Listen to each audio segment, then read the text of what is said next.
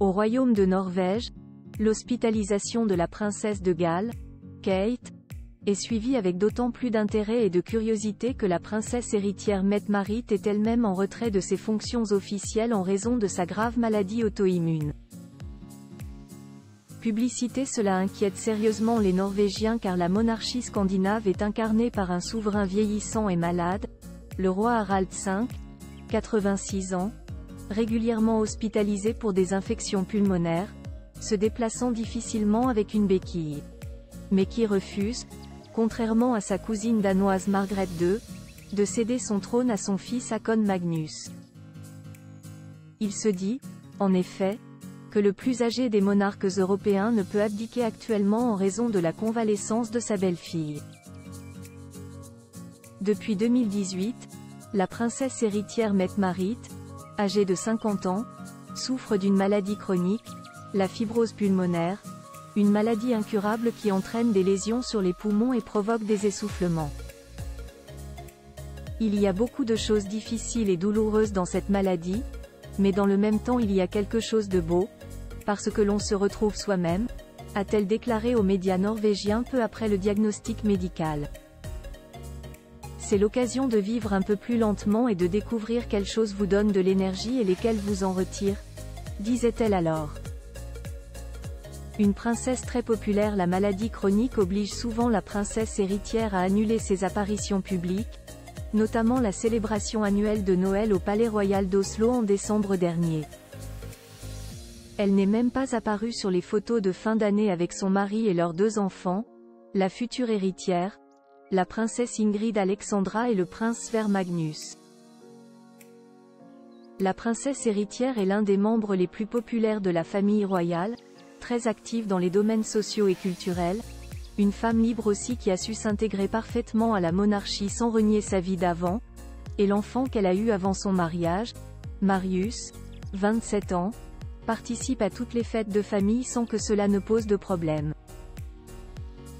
La princesse héritière, qui poursuivait jusqu'alors une activité officielle réduite est absente de la scène publique, a toujours été ouverte sur sa santé et sur les effets que cela pourrait avoir à l'avenir, lorsque son mari accédera au trône et qu'elle deviendra reine consort.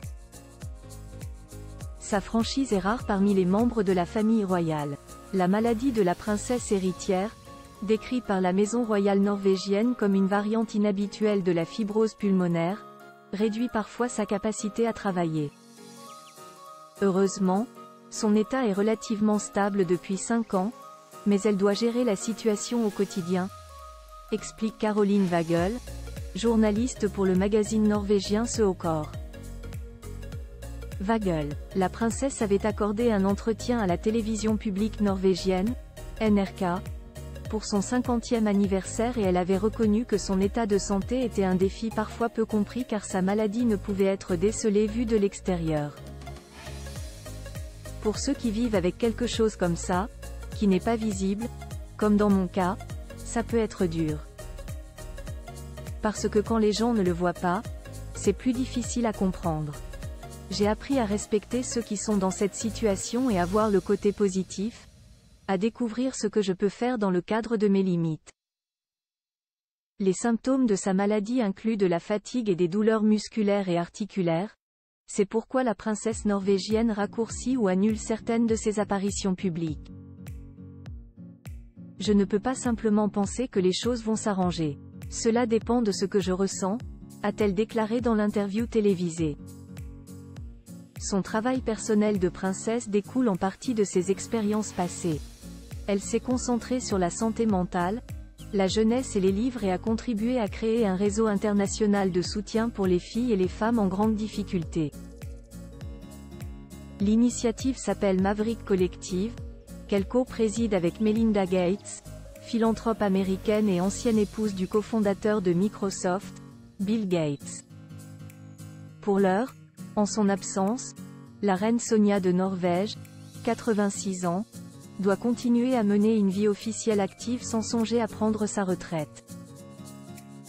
D'autant que la belle-sœur de Mette Marit, la princesse Martha Louise, a été exclue de la vie publique en raison de son prochain mariage avec le chaman Durek Veret, et que la future reine, La princesse Ingrid Alexandra poursuit sa formation militaire et universitaire. La princesse héritière Mette-Marit reconnaît avoir le plus grand respect pour les souverains et le travail qu'ils accomplissent pour notre pays, ainsi que pour l'espace qu'ils s'accordent mutuellement dans leurs rôles respectifs.